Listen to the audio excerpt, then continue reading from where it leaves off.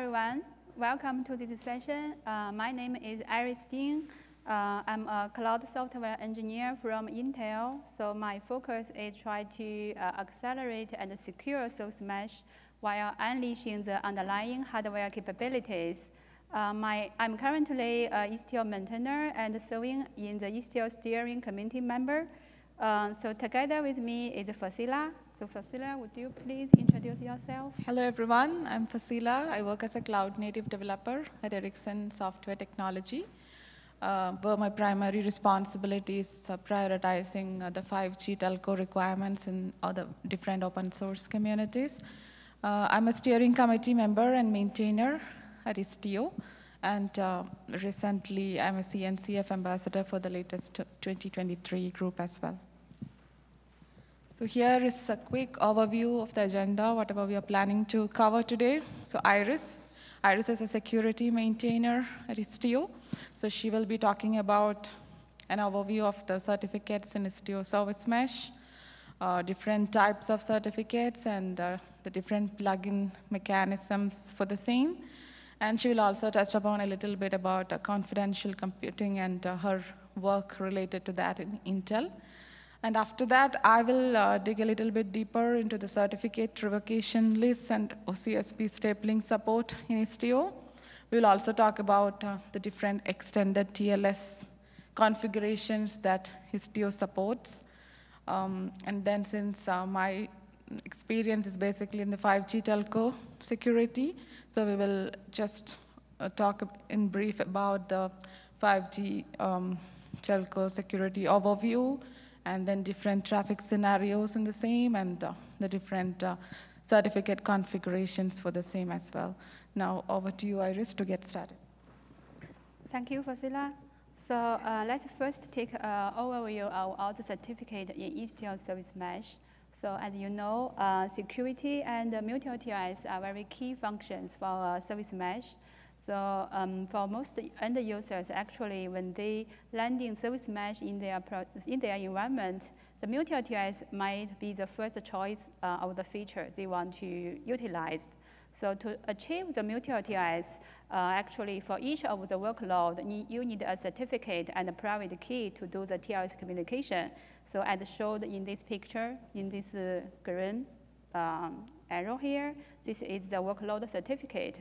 And also in the mesh edge side, either in the ingress gateway direction or the egress gateway direction, you need several different uh, certificates as well. For example, you need to do the TLS termination in the ingress direction, or in the egress direction, you also need the certificate to the TLS origination. So you might also for example, expose multiple backend services through the gateway. So in this case, you might configure multiple gateway and a uh, certificate and private key for your gateway. So this is another place in service mesh that the certificate is heavily used. Then to achieve the multi-TLS communication between the workload, you actually need a you know, root of trust for your workload. So to achieve this purpose, um, basically you need a certificate authority server and another key component in the Istiod control plane is the registration authority server. So um, both of them will have certificate. Typically, the certificate for the uh, RA server and the CA server is the same, but they can also be different. So we can see some more details for this later. Um, so let's first take a look at the workload certificate. So for workload certificate, actually, it's related about how the Envoy proxy get the related certificate. Then when the data plane traffic comes, it can utilize this kind of certificate to do the multi-TLS communication. So uh, when you, you, I mean, when you onboard in the Intel service mesh, um, there will be an Envoy proxy injected as uh, alongside your workload. We call it a sidecar. So when the Envoy is bootstrapped, it actually will get a bootstrap configuration. So in this bootstrap configuration, it will get a default uh, SDS uh, gRPC server configuration. So it will be served as uh, on a very fixed uh, Unix domain socket. So the address is fixed. It's under uh, slash var slash run slash secret slash workload specific UDS slash socket. So it means um, by default, in this picture, as showed here, the Istio agent itself will acting as the SDS server and will serve all the Envoy proxy through this UDS socket.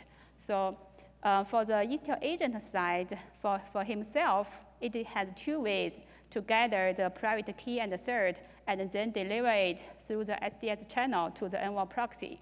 Uh, so one option is option one. It's also the default option for the Istio proxy. I mean, if you, you know, install Istio using all the default option, this is the, option one is the default option. So in this case, uh, the Istio agent will acting both as the SDS server and also as a CA client. So it will, you know, um, generate the certificate signing request and send it to the CA certificate authority server. So we will see more details later for this option. Uh, for option two, it is some kind of, you know, you plug in your key and cert directly for the workload.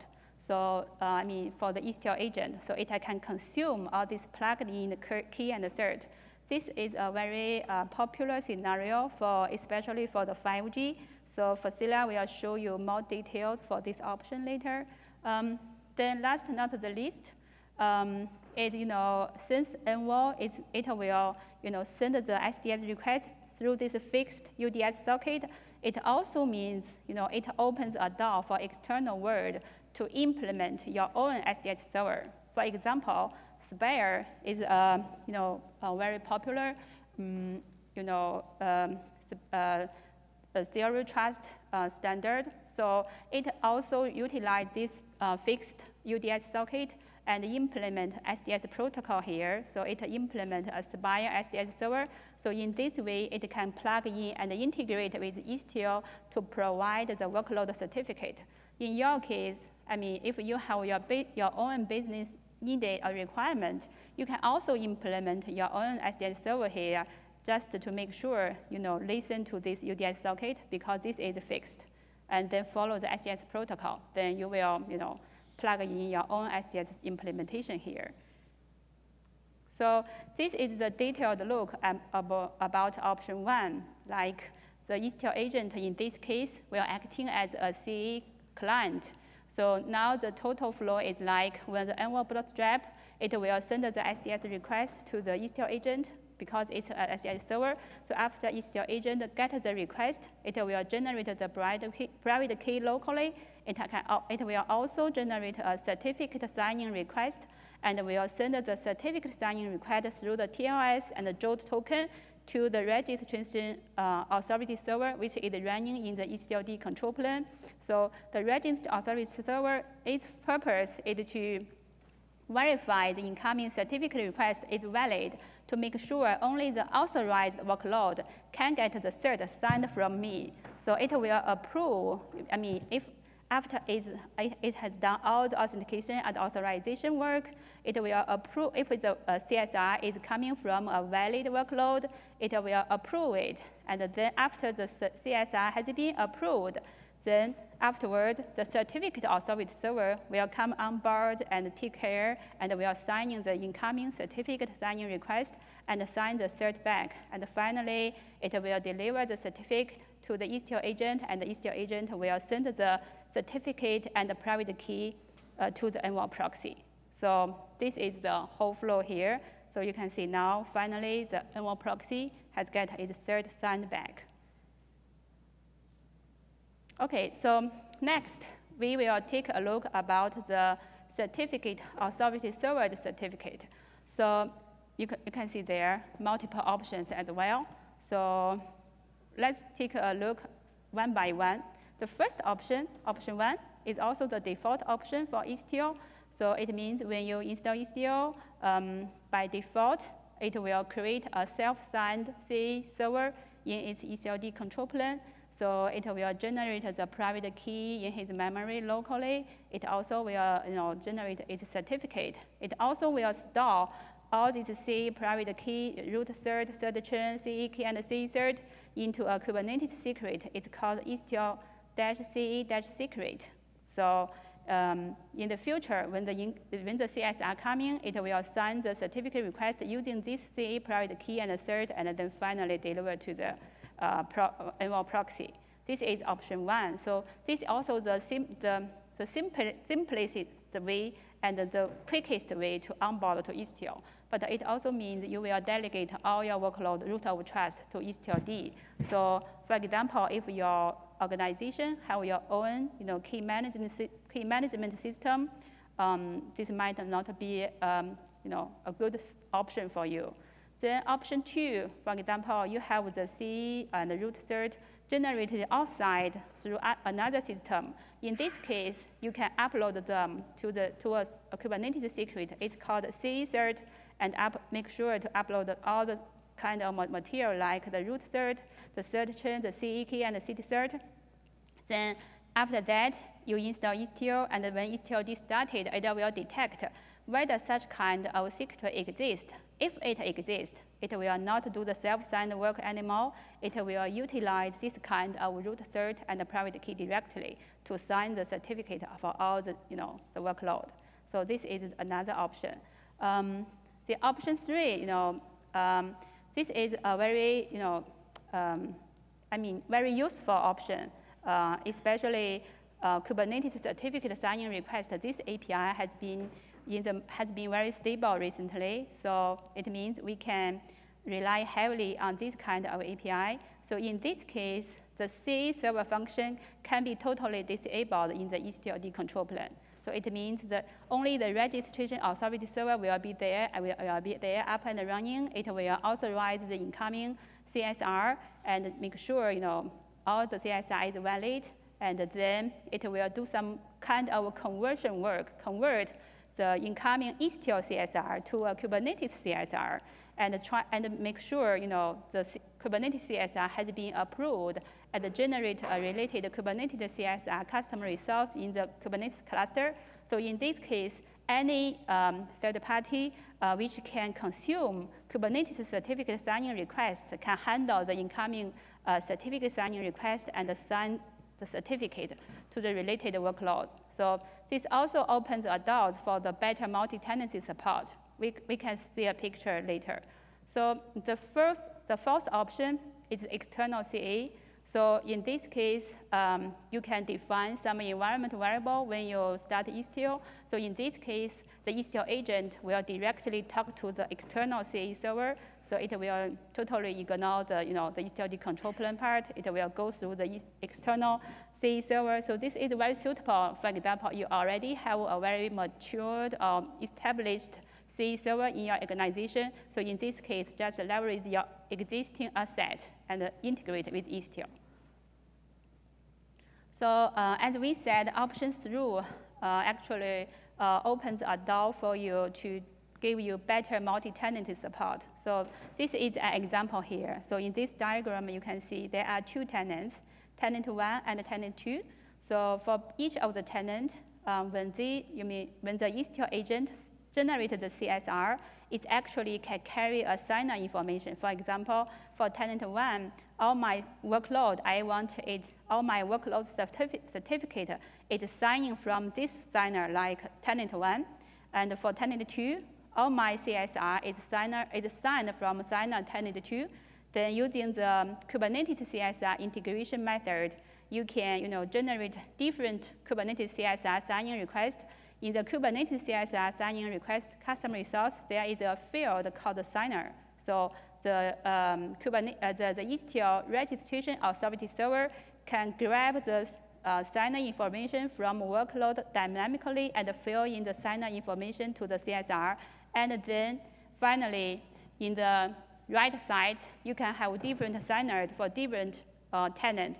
But in, in, this example, I can have a signer operator here uh, for one tenant. I can leverage the cert manager uh, to sign uh, for other workload. So in this way, you can see, even in the single service mesh, you can have multiple CA, and also it means um, the communication between different tenants' workload will be broken because they are not signed from the same root of trust.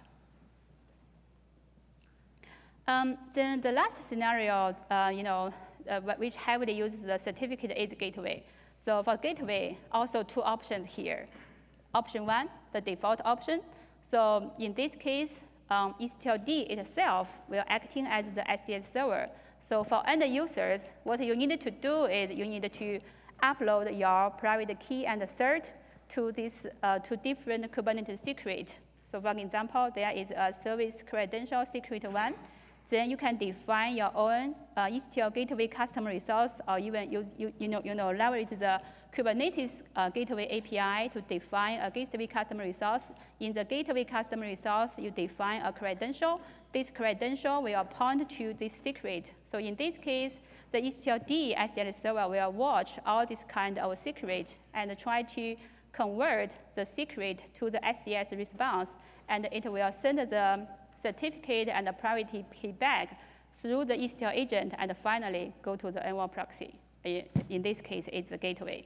The another option is here, uh, option two. So actually, uh, Envoy can, is also listening on this UDS socket. It's called var slash run slash secret slash credential UDS slash socket. So it also means uh, you can implement your own SDS server and make sure you know, serve on this UDS socket. So you did, in this way, you can, you can see you can also provide your own SDS implementations, SDS implementation to serve your ingress gateway or even egress gateway. So um, this is something you can check about. Um, then, um, so, you know, all those multi-TLS give you a lot of benefit here, but uh, in current upstream implementation, uh, as I said, cert and also private key are very key um, component when you do the TLS communication, especially the TLS handshake, right? So currently, all the private key is stored in clear text for all both uh, all these three scenarios, like the CA case. Uh, if you see in the left bottom part, you can see you can using this simple kubectl command to very easily grab the CA private key. So it also means the attacker can grab the private key and break your whole mesh traffic. And also for multi-TLS, the, the, you know, the private key is in clear text in memory. It's also dangerous. So how to solve, solve this problem? Uh, in Intel, we have a solution which is called Intel Software Guard Extension. So it provides a process-based trusted execution environment for you. And this technology is, is totally based on CPU itself. It means no additional hardware is needed here, like some hardware security module. You, know, you, do not, you do not need them. You can purely rely on the CPU here. So this capability is available starting from our third gen uh, Intel Xeon processor. So in this case, um, the SGX will provide you a confidential memory region. So in, in this picture, you can see the application has been divided into two parts, the trusted part and the untrusted part. Only the trusted part can access this memory region. For other applications or other software, even if you are an operating system or BIOS or firmware, you are not allowed to access this memory region. So in, in, in the service mesh scenario, we actually put all these private keys in the SGX enclave. Um, for in another word, this, this, this secured memory region is called SGX enclave. So we have three use cases here. So we can store the private keys for gateway, for workload, for CA server in the SGX enclave. So in this case, um, after if you're using this solution, if you go to the cluster and you want to try to get the secret now, uh, if you try to grab the CA private key here, you can see you can get nothing because all the private key is guarded in, the, in this SGX enclave. So this solution has been totally upstreamed, so open sourced. So if you are interested, uh, make sure you check out these two repo here. The first one, HSM SDS server, uh, this is work for the gateway and workload certificate. The trusted certificate issuer this actually a cert manager, you know, it can coexist with your cert manager um, uh, environment. So it's actually uh, just a cert manager issuer, but it will make sure your CA private key has been guarded in the SGX enclave. Uh, so next, I will hand over to Faseela to walk you through more details. Thank you, Iris. Uh, thanks uh, for the great uh, presentation so far um, about uh, the service mesh security overview. Um, Yeah, so there were a lot of options shown by Iris, so don't think it's like very complicated with Istio, but it's more like all the complex things are made possible for you uh, so that all the different scenarios are working as expected. So now let's take a look at some additional extended features supported in Istio security architecture.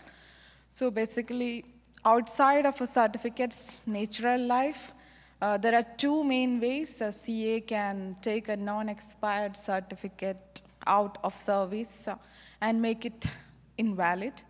So those two mechanisms are like CRL, that is the certificate revocation list, and the other one is OCSP, Online Certificate Status Protocol. So well, let's first um, see about the CRLs. So CRLs are basically like um, if you see here, it's, uh, it's like a list of revoked certificates. Um, it's maintained by the C CAs in a CR, uh, distribution point, which, which can be residing outside. And the peers are meant to request this list uh, from the CA during the TLS handshake and uh, verify whether the certificate is still valid or invalid. So it's basically like a blacklist of certificates that a CA revokes prior to their assigned uh, certificate expiration dates. So this diagram gives you an overall picture of how the CRL implementation is done in Istio. Uh, so at Ingress Gateway, we want to check the revocation status of client certificates. Uh, so we should check at the server side if the client certificate is valid. Similarly, at egress gateway, the revocation status uh, uh, of the um, received server certificate could be checked. So this, the solution is not just limited to the gateways. If the sidecars are supporting TLS termination or origination, so we can use this at sidecar as well for the external traffic, and we can have the CRL check enabled in a similar fashion as the gateways. Uh, so this comes for us as a 3GPP 5G specification requirement for security. So many of the other enterprise use cases may not need it, but yeah, in the 5G world, we have the 3GPP standard where there are additional security requirements and it states like the CRL status check should be supported for external certificate validation. So this is one such scenario. Istio also supports the OCSP stapling. So OCSP is like a protocol used to check the revocation status of individual certificates. So previously, we talked about CRL, which was like a list of revoked certificates. Uh, but here, it's like applied to a single certificate rather than a list. So a peer, upon receiving the certificate, communicates with the CA to check uh, the status of that particular certificate. So in Istio, we will not implement the basic, the overall OCSP support, uh, rather only OCSP stapling. So in stapling, it's like instead of each client having to request the revocation status of the certificate, uh, the server which owns the certificate and serves the content, that requests uh, the CA for its validity and sends its own status in the form of a signed time-stamped add-on. So the server can present both the certificate and the staple in, in the response to the client. So in Istio, what we have is uh, the OCSP stapling support at the ingress gateway. Uh, so that's what we do. Now, Istio also allows you to configure additional TLS parameters in some of the scenarios based on the requirements. So it's a bit unstructured currently, so maybe certain parameters are supported only on the ingress side, certain other parameters are there on the egress side, but the documentation clarifies that. Uh, so it's like, for example, there is an option to configure the cipher suits, ECDH curves, or, and even the signature schemes. If cipher suits is specified, the TLS listener will only support uh, those specified cipher, uh, cipher lists, but it's like only in TLS 1.2. As you know, TLS 1.3 does not allow this configuration. Similarly, ECDH curves as well. But yes, based on the requirements that have come in, um, we have ECDH curves support only for the mesh external configuration. Mesh external means the traffic that's coming from outside the mesh to, the, to inside the mesh. Um, signature schemes also can be configured, but Envoy supports configuring signature schemes, but there are no standard Istio APIs for configuring the same thing.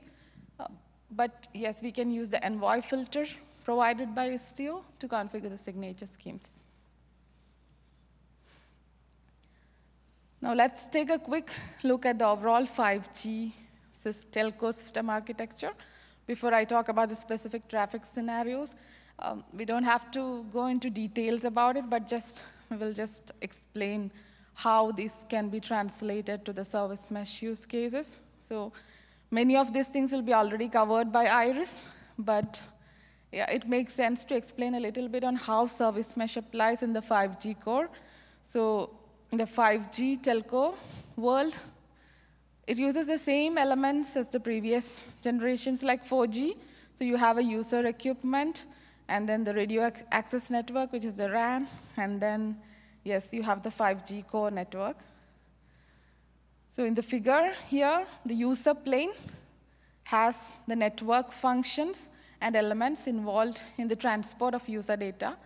Um, that's shown at the bottom level in the yellow background, and in the blue ba background, whatever is there, it consists of all the network functions in the signaling plane or the control plane. So the, the, the network functions are like uh, the applications in a Kubernetes cluster.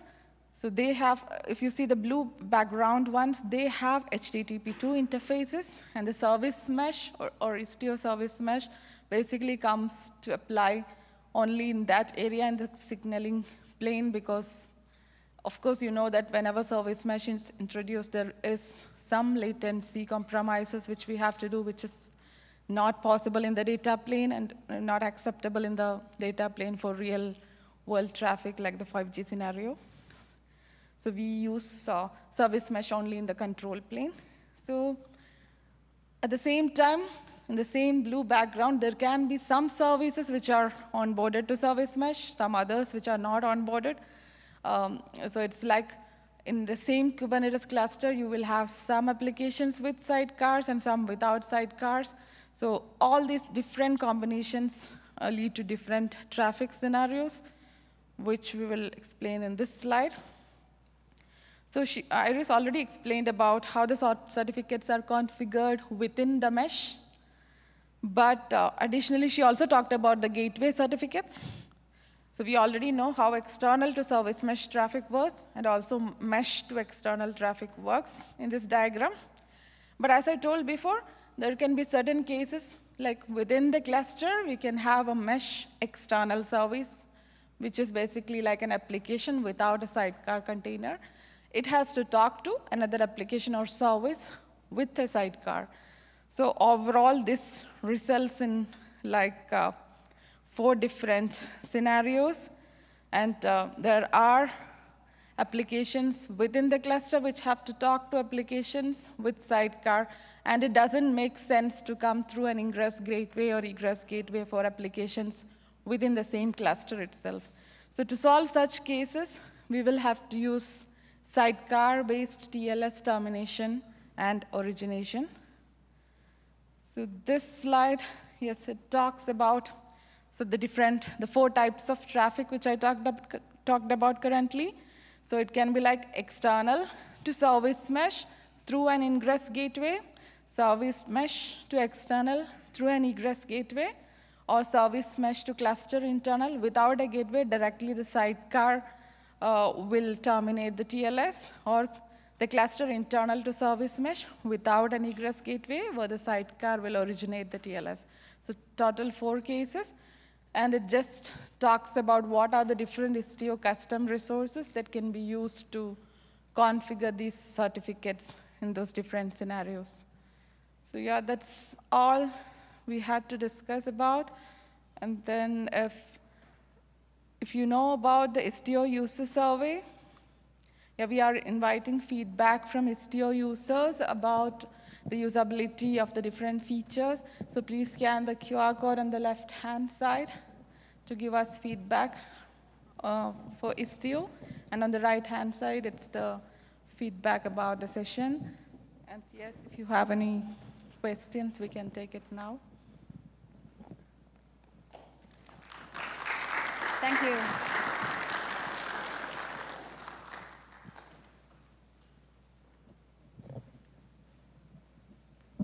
Thank you. So I had a, I had a question. Um, certificates in Service Mesh seem kind of like a choose your own adventure book, if you understand that reference. Um, in that there's lots of different ways to do them, and it's seemingly lots of different ways to do them badly. Do you, like in your infinite wisdom of the people on the stage, have recommendations on what you would suggest as the purest or simplest route to pursue certificates in a service mesh environment?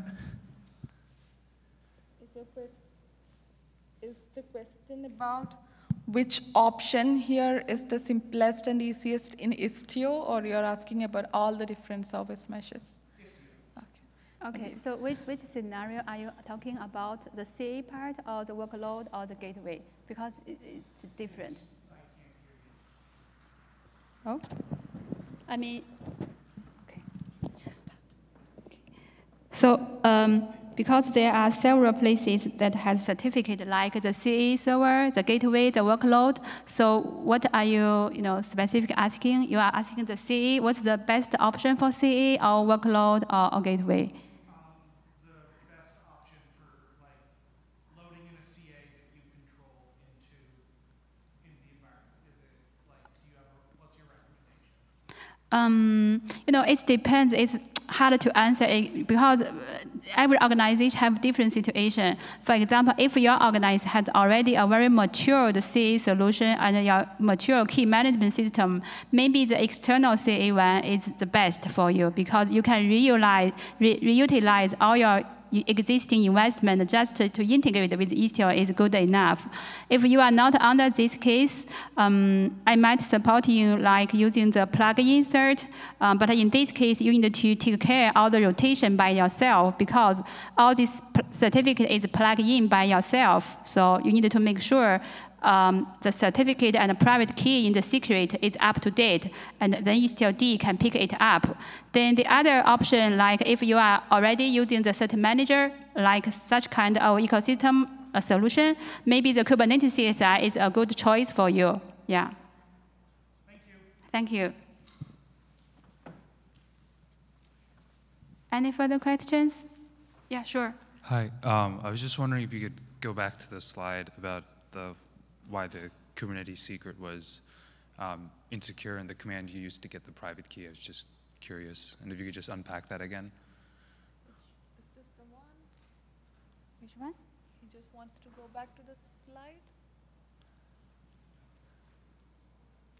Um, it was the one about why the, the Kubernetes secret uh, for uh, the Istio cert was insecure. This one? I think it was a few.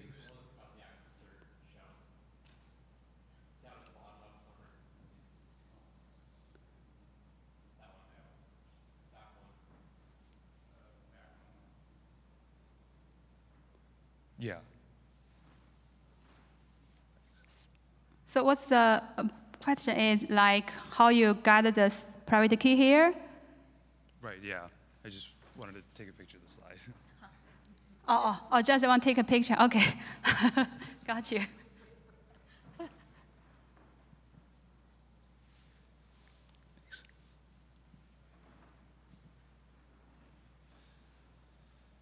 Thank you.